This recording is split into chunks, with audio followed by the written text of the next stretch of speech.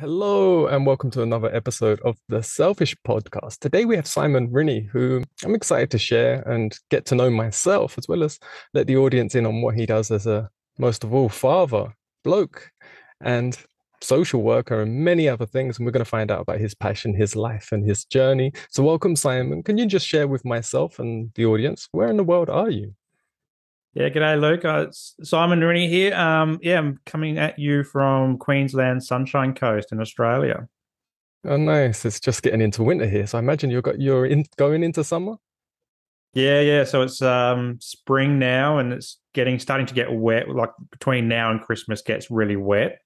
Um, so we've already seen floods in say Victoria, New South Wales, top of Tassie, um, and I think there's some more bad weather coming our way, but but yeah, springtime, um, very wet, and then yeah, we'll be coming into summer soon enough. So um, we've already hit the beach twice, so it's, it's getting into that nice weather where we can do that. So oh, nice. Well, it's beautiful we can connect in this instant moment around the world. I'm mm. in hmm. uh, Europe, in Spain, from the UK, so my cool. isn't Spanish, but yeah, and we're just going into winter, so it's uh, getting wet here too, but getting colder as well. Yeah, with the opposite, getting wet but warmer. what I like to do with my guests so I get to know them more personally is go back just a little bit. So, can you paint me a picture? What was life like for you, say pre 10 years old? Where did you grow up? How was school? Mm-hmm. What was life like? Yeah, so I grew up in a place called Adelaide, so South Australia. Um, so definitely not Queensland. It's a very different part of the world, and and the northern suburbs is very working class um, type of environment um, lots of trades, lots of manufacturing.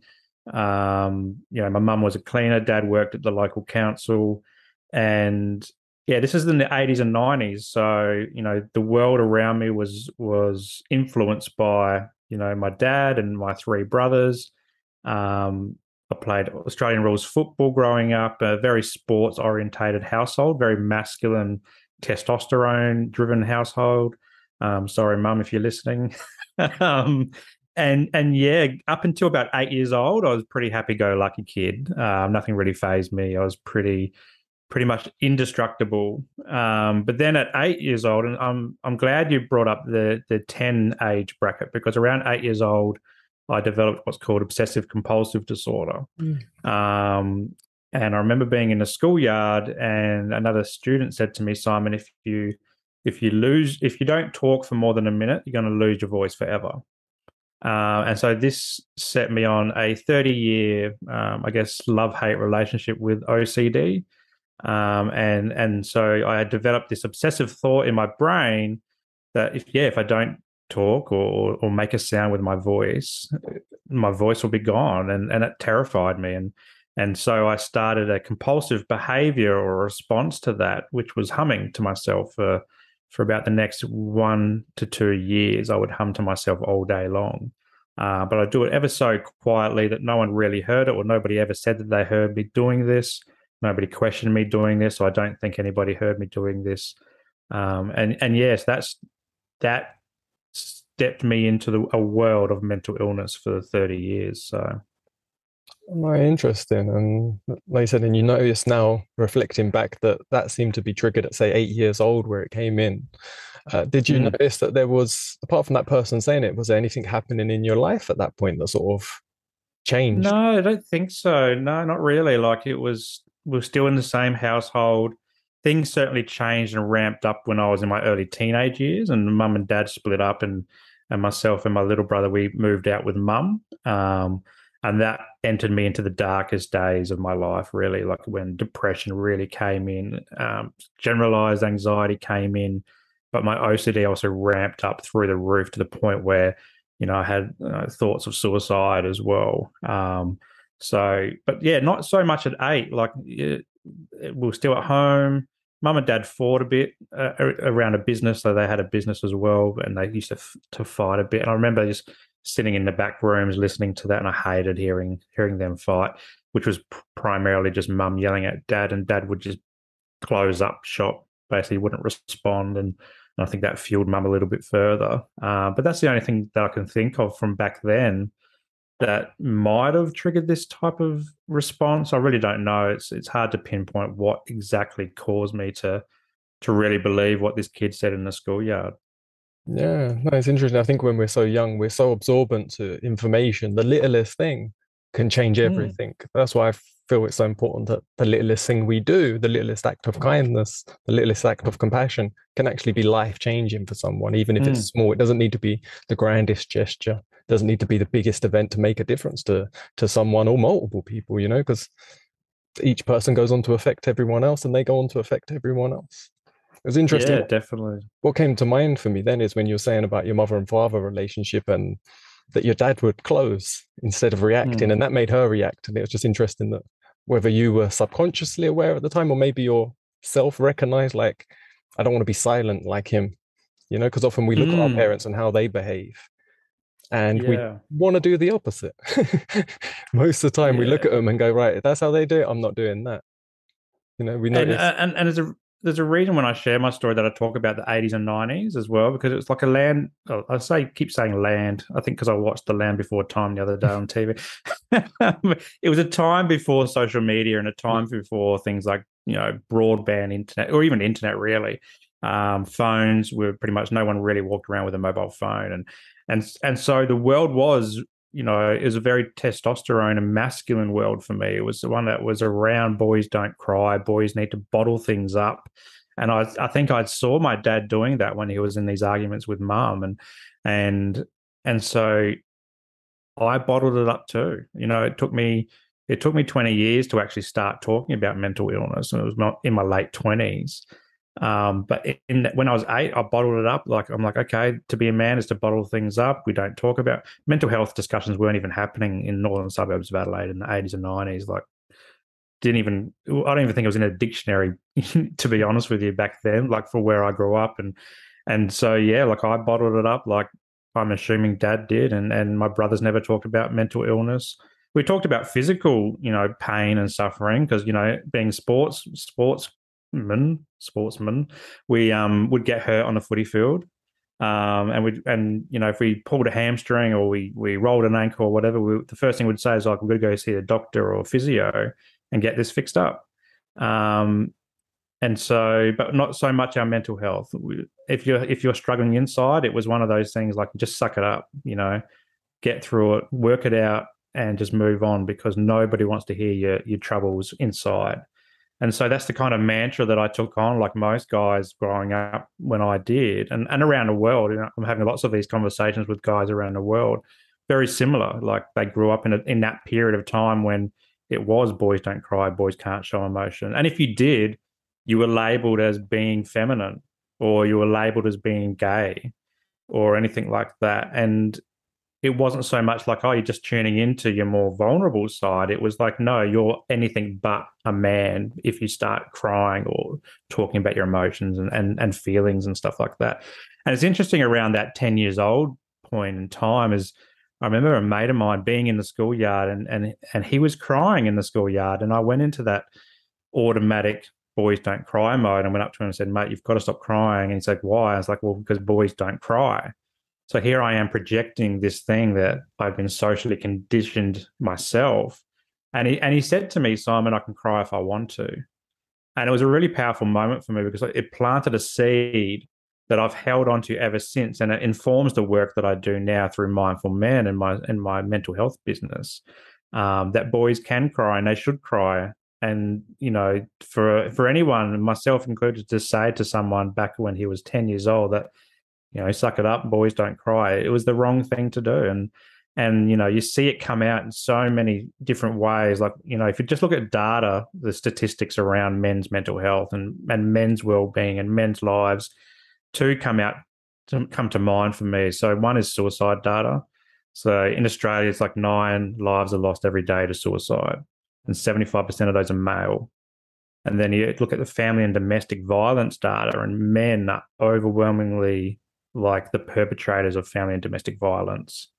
And what these two stats tell me is that we have not learned as guys how to process emotions and, and feelings and stuff like that. And it's coming out in either rage or anger. Um, you know, in, in a case of abusing our families or, you know, kids or, or elders, even like elder abuse is a real thing. or it gets to a point where we just can't function anymore. We can't cope anymore. So suicide is unfortunately the only way out for a lot of these guys as well. Um, so tuning into our, our vulnerable side, and, and I'm I'm glad my mate said that to me when he did. I just wish I did something with it earlier than you know 30 years later. So yeah, no, it's really interesting, and I think it's a much needed area. Like I too, as a as a bloke, as we would say, but went through a lot of mental health issues myself, depression, suicide thoughts from like a real young child. But my mum had mm. really severe mental illness. She had the worst case of schizophrenia I've seen, and I've been to many mental institutes, hospitals, or whatever someone wants to call them, um, throughout my life with her. And she'd spend periods in the basically padded cells, like in the worst case scenario, mm. in them places, and saw yeah. people with so much mental illness. Um, what was interesting now, as you say, when I look back, there was vastly more females in there than males. And I think that's because mm. people take notice of it, not because there wasn't men suffering. They're not being acknowledged it, because we can see now, like you said, the amount for depression, for suicide, how high these statistics are. Um, and I know as myself, I bottled it up pretty much my entire mm. life. And I justified it to myself that all this suffering, all this pain, this terrible feeling I have, anyone else would have it if they was in my shoes, if they was in my position. So I just accepted it. And I was like, when I fix everything, it will go away. Yeah. And mm. life continued to get more chaotic. You know, and I had to fix it during that time. I went through a whole trial of events and stuff, but I got out of it. Yeah, and it was through lots of different methods, but during chaos. Yeah. I think that yeah. started me sharing at the beginning of lockdown. I saw them statistics just skyrocket right at the mm. beginning. It was like the suicide for male females, but especially males, all of it was rising and depression was rising. So I started sharing online what happened in my life, being extremely vulnerable and sharing all the depths and details that I never thought I'd even talk about, you know, just to shine a light mm. to people. And I noticed so many men, uh, they said, reach out and be like, see that it's okay to you can either cry about it, you can talk about it, but it's not something to be ashamed of or feel guilty of. And also something that can yeah. change. You know, it's and I remember like you were saying back, oh, when would it have been for me? Like through the 90s when I was a little bit older and looking after my mum, I was always like, oh, if she had lost her legs, people would help, people would understand. You know, if, if she had a physical problem that was really obvious, people would mm. understand. But because it was a mental issue, even though her behavior was obvious, it wasn't normal, um, people just wouldn't resonate with it. They just didn't like yeah. almost accept that it was even happening. And then they would go to all these different reasons why it's happening. You know, it wouldn't didn't I even knew as a child, like that doesn't make sense how you're trying to work this out and this problem. You know, and you're not letting that person really even speak about what's wrong with them, you know, or yeah. how they feel. It's like, look, you just got to sort yourself out. You're not good enough.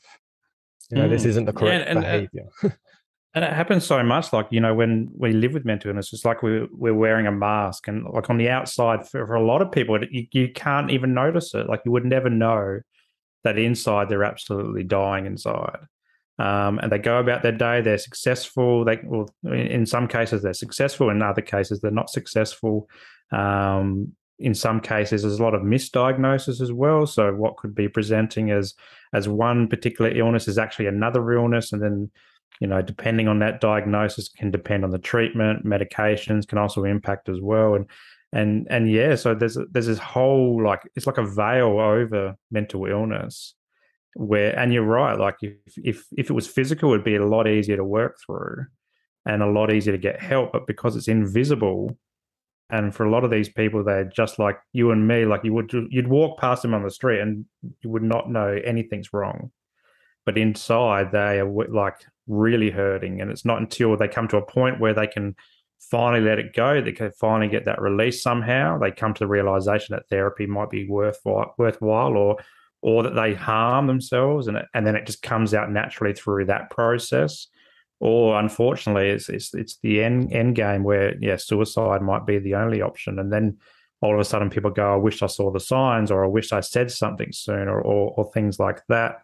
Um, yeah, it's it's a real difficult space to be in, both for the people who are experiencing it, the people that like the loved ones around it as well, but also service providers who might be uninformed or ill-equipped. Uh, you know, I remember growing up and and basically in, in a school in a school situation, if you saw a guy, a young boy in, in a classroom acting up, it would pretty much, they would just be labeled with ADHD, just like that. And they're like, oh, you know, you need to go to the principal's office. And, and they, and everyone will be like, oh, he's got ADHD or whatever. But in reality, he might have had things like autism or something like that, which we, you know, only just the last what what seems like to me the last 10 years that we're starting to understand autism and how it operates and and how it's different to ADHD and and and so just there getting labeled with ADHD and then so it starts people thinking I've got ADHD maybe there's other people start comparing I've got ADHD and this is the 90s as well like you know there wasn't Google. You can just go to Google and Google your symptoms. You know, you had to rely on on hearsay and hearsay in the schoolyard or actually going to get a diagnosis if you had the kind of family around you or the supports around you that would actually take you to see a psychologist or a psychiatrist or or your GP. Um, so yeah, it's a really challenging space to be in. But um, I'm glad you you you started opening up about your story, mate, because it's it's podcasts like these that help to normalize these discussions um, you know, we've only just met and we've already been going almost half an hour on on a mental health discussion for men, um, and we and we're showing that it, it is easy to talk about. You know, it's hard the first few times, but the more you talk about, the easier it gets. And I've had this conversation lots of times over my last ten years, particularly. I'm sure you've you've had lots of conversations too. I mean, I've, I've watched your podcast and I really enjoy how open it is and vulnerable it is. Um, so yeah, thank you for sharing and, and holding this space with me so that we can show other blokes that it's okay to talk too. Yeah, no, thank you for that. And yeah, for me, like talking about it right at the beginning, I remember being in my sort of or even in my teenage years, but specifically in my early 20s, I remember it still being really present. I couldn't say the words, my mum's ill. If mm. I had to, so no one really knew. I hid everything as much as I could from friends, from family. And as I look back, it wasn't because I was a little bit was because I was ashamed of judgment, but it was also because mm. I hmm. wanted to not, when I was with a friend or when I was away from that chaos, I didn't want to talk about it because I didn't want to be back in it. You know, this, that was my mm. escape. I'm now talking to them about something totally different. So I'm not thinking too much about what I'm about to go home to. Um, mm. But I hmm. remember even when I had a girlfriend and the first time I hid it from her for a couple of years before she even knew anything was wrong with my mum. Yeah, and I was like, then when I went to tell her, I was like, my mum's, and then as soon as I said, tried to get the words, I just broke down. You know, it was yeah. so hard. And then it, that made me more fearful to bring it up again or talk about it because I was embarrassed to cry because I was like, mm. I'm, I'm not strong enough. You know, and I grew up with these action stars and heroes that were really influential. And some of it was good because it made me want to be that hero. It's like I can take on any situation. You know, I just got to toughen myself up. But in that process of toughening myself up, it was like you said, boys don't cry. That's not tough. You know, so it was mm. like any moment them feelings came up. Like I don't I'm trying to think now. I think I've seen every Arnold Schwarzenegger film. I don't think I've seen him cry. you know, I don't think there's a moment where he's got emotional in that sense. So like it's like you just don't do that. You know, that's something that yeah. not isn't present. But it made me want to be that hero and, and be strong for my mother, be strong for my brother, and you know, take on the world to be the best you can, but it was done from what I call like an internal dictator who was like, you don't cry, you push through, mm. you have to do this, you have to be better, you're not good enough. You know, and it was constant just punish, self punishment for even doing a good job wasn't acceptable. It had to be always better. Um, and mm.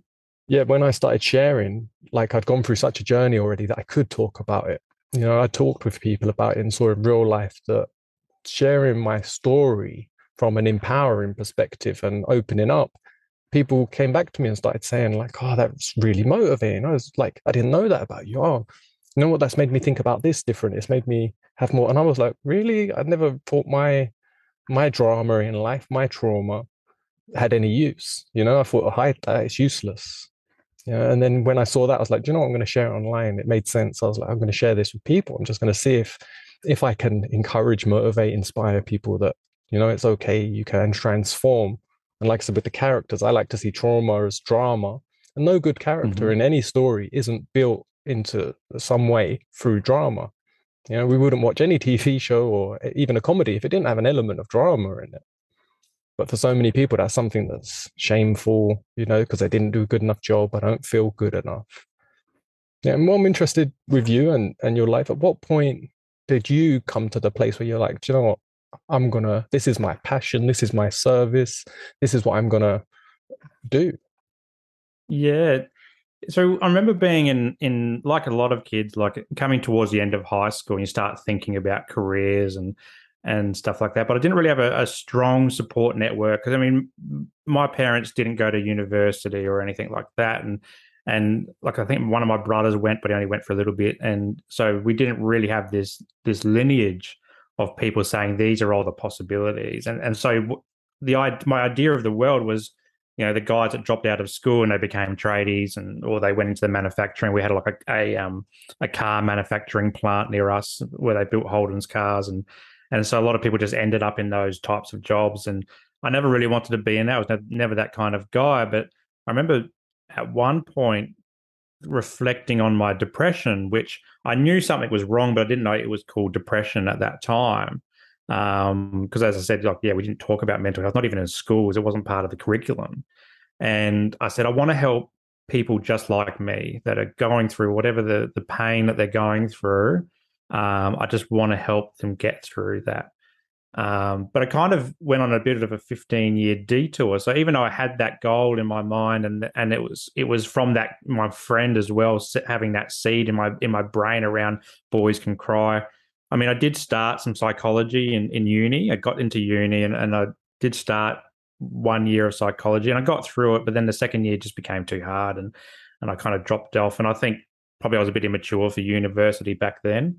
Um, so I settled on a, like a, a generalist degree. Um, and ended up in a, a 15 year career in the public service. So, doing a lot of government style work, um, but it never lit me up. It never mm-hmm. fulfilled me. And I think probably around seven years into that career, I started thinking about, okay, what's next? You know, my brain starting to fade. Um, wasn't really climbing the ladder like I thought I would. Um, the money was good. I mean, the money was really good. Um, but it, yeah, I just I started to hate hate things. My depression was coming back a bit or a fair bit, and so I started this process of thinking about what's next. And so 2018 came along and and I finally got to that point where like I really need to change careers. I really need to do something different. And so I went to my local university and, and got talking to to the career counselors there. I've never seen a career counselor in my life. And I said, you know, what options do I, do I have? And they introduced me to social work. And I really love the concept around social work because we can look at these big grand theories and how you know how things like capitalism influences us at a local level, but also a global level. Um, we can look at how we interact with each other from a from a child and a parent perspective as well. Um, that was really interesting. But there was a whole lot of stuff in there about mental health, and I'm like, yeah, okay, cool. And by this stage, I'd been diagnosed. I actually was diagnosed in, when I was 28. So I started at eight, undiagnosed until 28 and but then it was probably around like yeah my mid 30s that i'm like okay let's use this. I, am I'm now coming to terms with it. I still hadn't told a lot of people about mental illness and, and stuff like that. This is only a relatively new thing for me. Um, but i'm like okay let's use this as a bit of a superpower as a bit of fuel because i'm really passionate about mental health now. I knew what it was. It had a name. I knew i had ocd i knew i had depression. I knew i had anxiety and so I started this social work degree. So I, I kept my my nine to five job um, full time. I then studied part time at university, so masters of social work, and we had two kids in that period of time. So and they were both under three. And I think by the time 2020 hit and COVID came and and we got locked down for I think five to six months initially, um, I hit a burnout stage. So I actually burnt out completely, physically, mentally, emotionally, spiritually, every every single way possible. I was like a potato. Sorry, potatoes, if you're listening. I just put some shame on you, but I was I was a spud, and and and as part of my recovery process, uh, similar to what you were describing before, is I started to I started an Instagram account for Mindful Men and, and started sharing what burnout is because I'd never heard about it before. Um, and as part of that, I started sharing the other parts of my mental illness as well. So I started sharing about living with OCD and depression and anxiety and masculinity because you know I was introduced through social work these concepts around masculinity and patriarchy and, and all these types of things. I'm like, okay, the things that I was told in the 80s and 90s they're starting to make sense. It's part of the generational, intergenerational ways of bringing up guys and, and all this type of stuff. So I can start seeing these grand theories come to life in my own my own situation. And so I started sharing that journey in 2020 when I was recovering from burnout. And similar to you, like I went back to work and I shared that story some more and did some presentations. And then other people started saying, Simon, I'm feeling the same. I'm feeling similar. Like, didn't know this about you because you're the guy that just always achieves. You're the high achiever guy in the in the office or or whatever. And and I'm like, you know what? There's an element of perfectionism that and wearing double masks that's hidden everything from everybody. And I'm so sick of holding it back and I'm just ready to re- release it to the world. And so it just it's lucky that that burnout period happened at a time when I had a gap in my study because I think if I didn't have a gap, I would have really struggled to finish. Um, but we had the gap, and then I'm like, okay, I've got to really use this mental health stuff because the more I'm talking about it, more people are coming along for the ride. The more I feel good about it because I'm sharing knowledge about mental illness and and men's mental illness. Um, and yeah, so we kind of got to a point at the end of last year where I finished the degree, and I was still stuck in that job. But then I was like, okay, in the in the process of starting a business, I'm like, all right, I want to step out of that public service job because it didn't light me up for 15 years. It was good. The last four years have been good because I've been working in a really cool area um, in disability. Um, but I really wanted to do my own thing. And so I set Mindful Men up as a business as well. So it's not just the Instagram, it, it became a business. And I dedicated a, you know, set up a dedicated men's mental health therapy business because I wanted to live that life or that dream that I had when I was about 16 when I said I wanted to help other people like me. And and now I'm in a space where I can do it.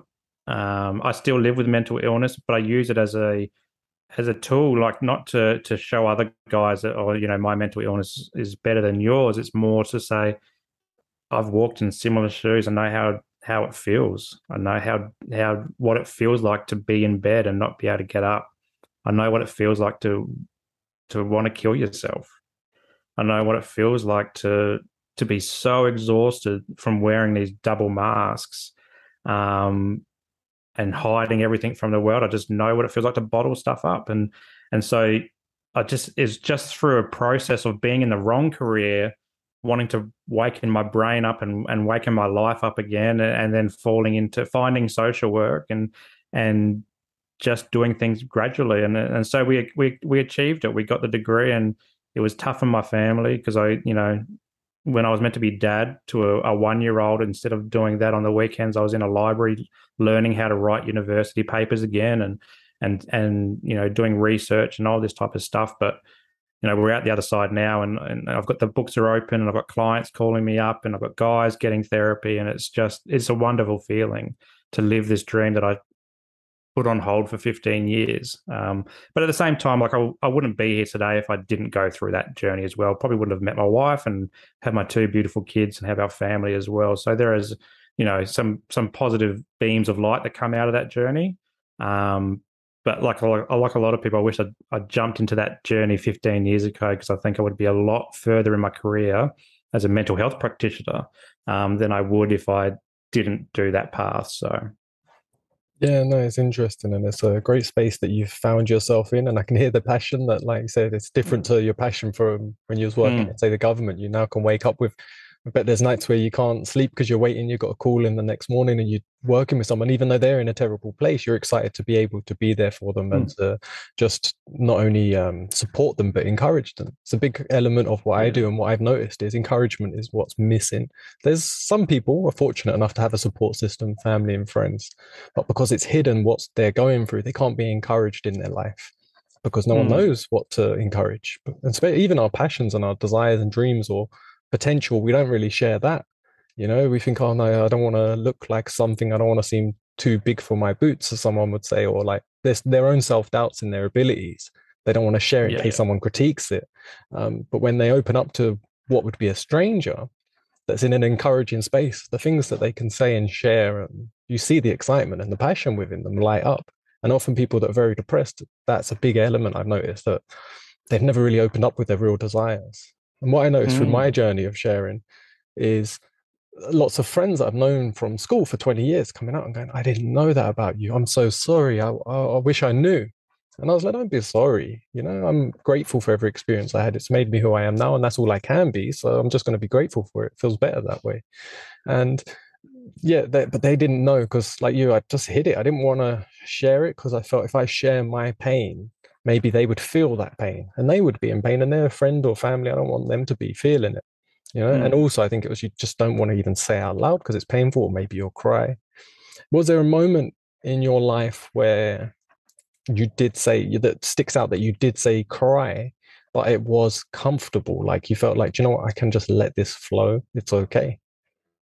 Yeah. So I didn't really start doing that type of stuff in front of other people. Like I'd, I'd shed tears by myself in bed or whatever. Um, but I remember like like my wife was the big driver for me to go and get help the first time, and that's ten years ago. You know, I was I was in a dark space. My OCD was through the roof, like going just crazy. Um, I was hurting our relationship, and she said, like, you know, you've got to go and get help. This is not healthy. What you're doing. I was drinking too much. You know, trying to numb the pain as well. Um, Self medication just didn't work, and and I remember going in, like saying the words, I think I've got a mental health issue to my GP was really hard. Kind of like what you said before, like you choked on the words as they came out. But I never really had a crying moment in, in therapy until the point that I had burnout. So when I was going through that burnout period, and this is what 2020, so it was 10 years earlier that I got diagnosed and all that type of stuff. And that was more of a relief than it was a, a painful process. It was relief that, okay, what I've been going through for the last 20 odd years is has got a name and I know what it is now and I can get help now. But I remember the burnout thing because I think I was so just spent and I have got the family here and and you know I wanted to be this this high achiever that I and part of the a lot of the stuff of the OCD is is high levels of perfectionism and having a bar that's set really high like a high level of standards for myself that I place on myself, but also a high level standards that I place on other people. And and with burnout, I just couldn't even jump up to touch the bar anymore. I've been doing it for 15 years of my career, but I just couldn't get anywhere near it. And I remember being I had to I had to take my wife to therapy as well. I just was such in such a bad way that I remember just no, not even before that. Sorry, before that, when I was talking to my boss, and I said, I think I'm burnt out. I can't keep doing this. And I did. I, I'd never shown this level of emotions to my boss. And this was on the phone. And I burst out crying. And and I remember calling my wife after that phone call and I said, You've got to come home. And she's like, Why? What's wrong? And I said, I've just been crying to my boss. And she's like, What's going on? You never do anything like that. And I, I don't I don't know I don't think I felt shame by this stage because I've been talking about my story with my other therapists for so long and with Rachel, my wife. But to do it in a workplace situation was quite a little bit confronting. And so I'm not sure what I felt like if it was shame or relief or like um just I was just probably relief actually. But then it, happened again not long after that. And I, I remember going to the to the to my therapist, my social work, the the mental health social worker that I saw and just saying the words I'm burnt out because I and that just triggered me and I just and I had to take Rach to that session to talk about burnout and and yeah I just I think I cried for 20 minutes nonstop. I didn't say a word in this therapy session. I was just crying and and that was just an overwhelming sense like a relief to just get it out there and say the words I'm burnt out you know um to another person who I've never met before, like to you know once before. But also to see Rachel see me in that space as well was a huge relieving thing as well because I could show her in this removed setting in therapy, like it wasn't in our household, it was in a in a third party area. That, I was really struggling to the point, like you know, I couldn't provide for my family, I couldn't provide for myself I could barely even talk properly. Um, you know, I could barely think straight. You know, it was just it was a it was a weird time because I'd lived with mental illness for so long, and these moments of just getting it out there were just relieving and and just so emotional. Um, yeah, that one really sticks out is the burnout process. And I think because it's so recent as well, um, like 2020, and to the point where I think I was even close to it at the start of this year as well, trying to get this business up and running and move from that old job. And I remember being in a similar state of mind. Um, but it was so nice to just cry it out as well. Um, as part of this year, my recovery this year, I went back to psychology, you know, see a psychologist and work through that process again.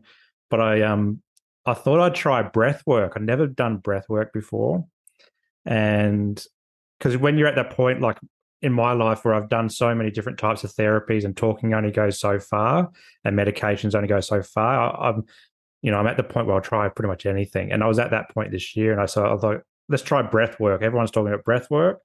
The first time I did it, um, it was really um, like an overload of the senses. There was a lot of noise happening. There was I was with another in a room about 25 people and there was a lot of noise. I'm like, it triggered me. I nearly ran out the door. I was like, wow, this is just scary. Um, but I went back again. I, I, forced myself to go back, and this the next time there was only about 10 people there, and I thought, no, I'm going to give this a really red hot crack. And I got in this this this weird zone. I don't know how to explain it. I'm the, I'm not an expert on breath work, but I got into this zone where I just started crying and and it was so nice to do it in front of other people. Like I was I was lying on my back and my eyes were closed, and everyone was doing the same. But it was so nice just to do it in front of these complete strangers to release that whatever was in there. And I just remember just crying for like probably half the session. Um, and that was a nice release of of of that raw emotion because um, when we finished, I didn't feel like I was going to go home and you know cut my cut myself up or, or you know get more meds. I actually felt like, oh, let's do this again. I can't wait to come back to the next one, and and it was just a, a really powerful moment as well. So, yeah, I guess two sides of that emotional coin. Yeah, no, fascinating that you got into the breathwork because that's something I've been doing for a long time myself, and I found just an amazing process to the point that I teach people mm. breathwork as well. And some of the, I was doing, and it was really, uh, I was fortunate to have a beautiful setting to do. It. We was doing breath work on a sandy beach first thing in the morning. There was about twenty of us, and a lot of the people that came came for more for sort of the physical element to move their body to to breathe and just be wake up you know they weren't there say for mental health for me, mm-hmm. it's an mm-hmm. holistic approach. It's about unifying the body and the mind in that moment. And breath work, I find, is a brilliant tool for that. And when I'm getting them, I'm watching them and seeing as we do certain exercises, sizes, as I affirmate, affirmate certain words to them at, during the process and correct certain postures to their nervous system as they breathe, the the eyes watering up, you know, and all they're doing is breathing. They're not thinking about anything necessarily, but different people are going through different experiences. But by the end of it, everyone was joyful not happy. I would mm. call it joyful. They felt just alive. You know, they they, yeah. they were all talking to each other. They all felt excited. They all wanted to go do something. You know, they all had energy, and they all just felt great. And for me, it was just beautiful. And I was like, okay, this is like it's so powerful. So it's great that you're adding that in. And I think it is a, a, a it's getting more and more attention, but in the mental health space, I still think it's very overlooked. It's like seen as this mystical yogi type, you know, spiritual side of things more so than it can help even simple mental health, but anxiety, depression, so many things it can bring the body back to a, a state of balance so that we mm. can recognize certain elements within ourselves, so that we can then work towards that and free ourselves. I, I share your experience when um, I was just doing it on my own, breath work and sort of silence, like a meditation. I don't personally like to use the word meditation because I find it overused and everyone has a different definition. But I was, say, being still, being silent, and just concentrating on my breath, trying not to think. And this was a few years back, and the word excitement kept coming in. And I was just realizing, like, I haven't been excited for so many years that I've lost the sensation. I don't know what excitement is anymore. And in that moment, I was excited that I haven't been excited for the excitement that one day I'll be excited. And I got excited and I just started crying, but with a smile. And I'm just, I was just sitting there breathing, tears strolling down. I came back to my love, Danielle, and she's like, Why are you been crying for? And I was like, I said, I just uh, feel like I've just felt excitement for the first time in like 20 years. I said, loads of stuff's mm. happened in my life, but that sensation was like reliving something that I'd been missing. Yet I wasn't technically doing anything exciting, someone would say. Do you know, I wasn't going to do a real exciting activity, but within that created that sensation. Um, but yeah, that crying for me, it was like not crying for so long that even when the most traumatic things were happening in my life, I no tears were just I, they were just blocked. It wasn't I didn't even mm. have to hold them up, hold them back anymore. It was just like yeah. I was that cold that I don't cry anymore. But the byproduct of that is I also didn't cry when it was something joyful, something loving, something there was no tears, and them tears are beautiful tears. Now I can cry when mm. something's like a nice feeling of tears, you know, where you are crying because someone's told you a story and you're just so moved in a beautiful way that tears start to stream. And that yeah. was a beautiful experience when that first started to happen, you know. And then the thoughts come in your mind where it's like, oh man, people are missing out. you know, there's like, this is something. And then you talk to people and they're like, oh, well, no, I don't cry. My parents always told me when you cry, I'll give you something to cry about. mm, you know, it's like, yeah. oh, don't cry, don't cry. And I think you going through your experience gives a, I know you said, I'm not sure if you said two boys or one boy, know it was definitely one, but they've got that advantage now where they've got the father figure who's going to be able to support them emotionally. You know, whereas yeah. as you were seeing so many kids out there, it's not a, they haven't got that. You know, even though so mm. much is available online, there's so much information that the chances of them coming across the information that's encouraging is still slim unless they've got a strong father role model which is mm. I think our innate role model with our parents, you know. So when they're balanced, the byproduct is the child's going to grow up with a bit more balance. So I think they've got a strong yeah. advantage. I want to know mm. with your wife a little bit about your love story. How how because she's been there through tough times and. Yeah. I, I lost my one through through my depression and chronic fatigue. She couldn't recognize it. I couldn't recognize it. Um, and we drifted apart and we got divorced. And after 10 years, because she couldn't looking back now, she didn't know how to help, what to do. She didn't know to recommend therapy. We were young, we were in early 20s. Um, so that just didn't work out. And that was just more pain on top of pain because it was the last thing I wanted. But that's what happened. So how, how did you meet your wife and what's your love yeah. story? It's it's it's one that I've reflected on recently. I was on a podcast about love, and I'm like, I'm going to put myself out there and talk about my relationship with Rach because because without her, like I wouldn't have been on this journey for the last ten years, getting getting help. Um, but I always take it back to like the the few relationships I had before that. Like there was always relationships that I had during high school, end of high school, and into my early adulthood years, and and throughout my twenties, where I was always like not fitting in with their their life. I was always a little bit like, okay, Simon's not really fitting in neatly in our box. We've got to try and stuff him in there and and and change the way that he he is. And and by but like in in all due respect, like with that, I still wasn't diagnosed, and so my behaviors and the way I thought about the world and felt about the world was still uh, like I was still going through that internally. And so while they were trying to put me in a box, like I felt like I was trying to always come out of the box and, and find my own way and figure out what's going on. And those relationships never lasted. Like it was always like something was wrong with me. It was always my fault for something. And so those relationships there, they came and went. And and I was devastated on each of them because I kind of always had this traditional mindset that you you get with you start dating a girl and then that's it for the rest of your life. Like, I, and that happened to me when with my first serious girlfriend in year twelve, and we broke up after a bit, after a while, and my life just completely went to shit. Basically, depression was huge. I didn't know what to do with myself. I dropped out of school. Luckily, I went back about six months later and finished, and and it really sent me on this downward spiral. And and I always tried to have relations, like try to be better the next relationship and do anything to please the person in order to keep the relationship alive. But over time, it got to a point where um, you know, I was living away from home for the first time, and I was living in Canberra. I finished my uni uni degree, and I moved across from Adelaide to Canberra, which is another state um, in the Australian Capital Territory. Um, and I spent the next year or so. I got into another relationship where the similar thing happened, and that one was an interesting one because even though I was outside of my home state and my hometown, I was actually dating a girl from my hometown, but she was from the well-to-do area and I was from the wrong side of the tracks essentially.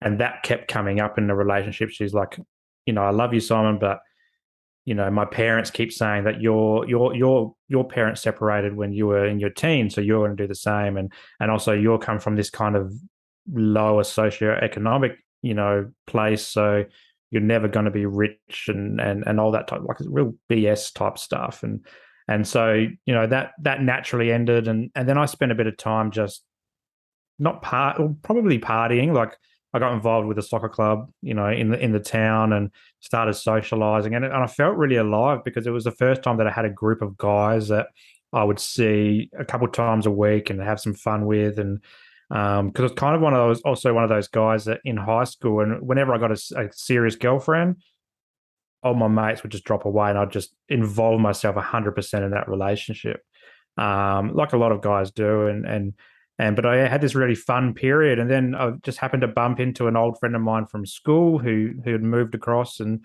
and and there next to her was Rachel, and and and you know we just had that fleeting moment of of g'day, and um, from there I kind of did some Facebook stalking and and got in touch with her, and um, yeah, we connected that way. And then we we moved in pretty you know pretty quickly together like everyone like Canberra is a very transient town. Like there's a lot of people from outside of town there that come to work in the public service. So it was normal for for like housemates and stuff like that was a normal thing. Um and then yeah like a couple of years later she got you know we, we were still going strong and she got homesick. So we moved to to Tasmania. Um, she's from Hobart, and we we went down there for a while. And it was around, it was there that I, I, went through another bit of a depressive state, and and she really encouraged me to to get to go see that GP. But I knew at that time that she wasn't trying to fit me into her box. It was more that she just saw the potential in me, and she knew that I needed to jump out of my own box and really get some help and be the guy that she, you know she knows that I can be. And so I had this gut feeling like, okay Rachel's not trying to change me like those other relationships. She's actually trying to help me. Um, and so yeah, we followed that path and I got the help and and it's been a roller coaster. Like I've I've had lots of down periods, and there's times when Rachel goes, "You're really hard to live with," um, and I recognise that. Um, but she's always stood there, stood by me. You know, she stood by me while we've taken this huge financial hit for me to start this business, for example, and um, but she's there right with me, helping me live this dream. So, like, yeah, I couldn't be here without her support. And um, she's an amazing woman and very strong. And she, um, she's the best mum as well to our little kids. So, oh, nice. Nice, and I like that, and I can really resonate with a few things you said there, especially the being in the box and feeling like you got to break out all the time and not wanting to be conformed to anything. Um, but also the same when I got into relationships when I was younger, it was always like, this is the one that's it for life. No matter what, that was my mm. goal and dream.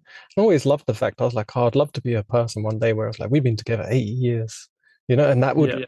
I wanted to always like perfect things and be perfect. And I like the idea of that and when that doesn't happen then i'm like now now it's only going to be 60 years oh, i can never because you can't undo it you can't go back in time so it's like if it doesn't work it's like you just lost everything but you've also lost a future or you've lost your yeah. dreams and so many painful things and when you're going through mental health issues like i said the relationship just triggers them things because that's something you're so intimately attached to and when I look back, my hardest sort of thing, it, and it probably was coming from being cold and holding my emotions in to be strong for others. That I wasn't emotionally connected in the relationship. I wasn't giving my actual emotional self. You know, I was practical. I was always trying to be uh, providing in some way, but I was never providing emotions. You know, and mm. I think hmm. for a guy, I think that's a, a big thing that they don't realize is important because, like you said, with brought up that emotions are female. You know, no no real man is emotional. Yet there's pleasant emotions too. And if you close off like the tears, you close off your negative emotions, your your feeling down emotions, you're going to start to close off your good emotions, your joyful emotions. All of the emotions are going to be blunt. And who wants to be in a mm. relationship with someone with no emotions, no male or female? You wouldn't want to be with your wife if she just was cold. She didn't show any love to the children. She couldn't be emotional. You know, you'd be like, well, mm. there's no nothing to thrive on. You know, we thrive off each other's emotions. We have celebrations to see the emotional change in people in that event. You know, Christmas comes, it's coming in a few months, and uh, what parent doesn't want to see their child all excited, full of emotions, but pleasant ones? You know? Yeah. And the opposite, they don't want to see them suffer. They don't want to see the bad ones. But we cut off all emotions. you know, it's it's not no way to to live. Mm. But no, it's been fascinating to hear your story. We're coming to the end of the podcast. to try and keep them to about 45 minutes to an hour. Yeah. So where where can people find? I know you mentioned there's an Instagram. Um, Mm. where, where's your business? Do you have a website? Where can people find and connect with you? Yeah, so um, my website is www.mindful-men.com.au, um, and it's a great space because it a it connects and anyone in Australia who's looking to do some mental health therapy with me or disability capacity building work, um, they can see my services on the website. But it also connects with my socials, on my Instagram, on my Facebook.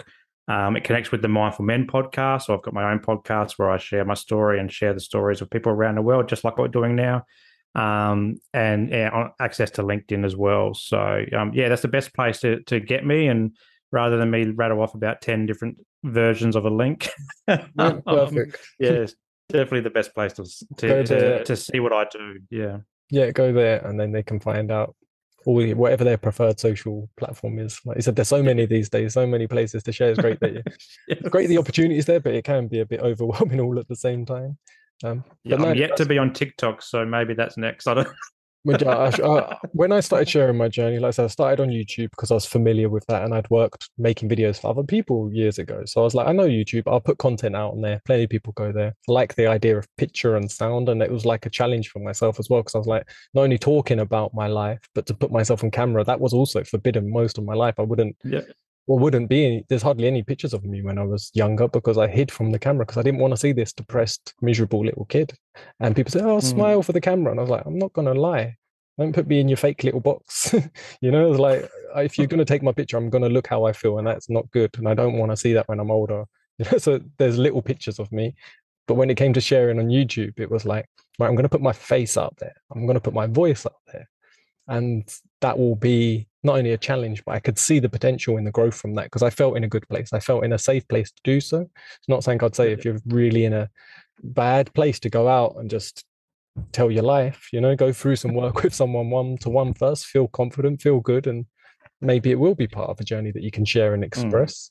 Um, but no it's definitely uh, like you said a, a, a great thing to be able to talk and, and share about it. So but tiktok Yeah. i did start that journey and it didn't last very long. I found it so frustrating you know just the fact that when you log in you get some terrible videos straight away in your face and every time i went to log in i was like it's, it's just not my space. So i just yeah, I, I just got off there. I tried it for a beginning because i wanted to be on every platform but yeah i'm not on there now.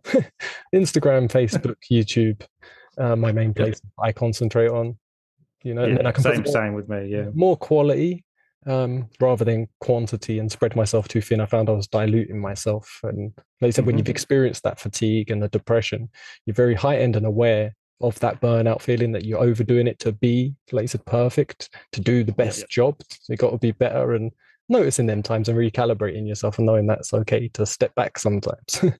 Mm, definitely, yeah. Particularly in this day and age of technology, like I was feeling the same last week. I dropped three episodes on my podcast, and and it was mental health week here, and I and I was just like, Simon, you're a mental health advocate now. Your mental health is suffering. You need to have some some tech free time. So I spent yeah my weekend phone away as much as possible. I had to do a little bit of work, but um, it was a nice feeling. But just recognizing that and projecting that out in the world, say, hey, it's okay. We can turn off for a little while um, recalibrate and, and focus in on the on the stuff that fills our cup and not dilutes us. Um, that's okay as well. So yeah, good point to to to in the social media space. yeah, nice. I have just a few short, sort of one answer. You can go on longer if you want, but I ask the guests the same questions at the end. Do you have Mhm. time for them? Yeah, of course. Yeah. If you had to choose one, a cat or a dog? Dog Mm, What's your favorite color? Green. What sound or noise do you love? My daughter laughing. Nice. What sound or noise do you not love so much? My daughter screaming. What do you love about yourself? Um, the fact that I'm so open about my mental health, you know, it's something that I've hid for a long time, but I'm really, I really get a lot of joy in just sharing the story. Nice. And what do you love to see in other people? Um, laughter and happiness because it it rubs off on me as well when everyone else is laughing around me. It's it's a nice feeling that peps me up too. Nice. And last question: What do you love about animals? This can be pets or animals in the wild. Um, I'm really into birds at the moment. I've never really been into birds, but for some reason, just watching them because we've got some a lake near us, and and just seeing the swans and and the birds dipping and diving into the water, it's it just makes me feel like just this sense of like stress or less stress and relief and just amazement and wonder about nature. It's something that's only just come to me recently, and I'm still trying to grapple it and understand it and probably dissecting it too much. But yeah, it's something that I've been really noticing lately is just the birds around us.